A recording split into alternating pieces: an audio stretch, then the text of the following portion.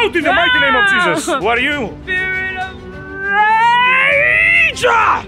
She won't be anything. Okay, how did you enter her? I entered her through Facebook. Through Facebook. How did you enter her through Facebook? I made her post about everything going on in her life, and then I entered her.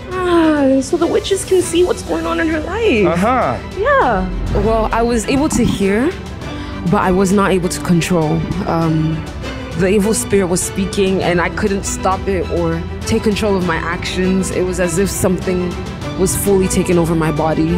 Out! Out in the mighty name of Jesus Christ! You demon, you ugly spirit, I command you to come out! In Jesus' name, you are free. Thank you, Lord. Son and sister. Jesus.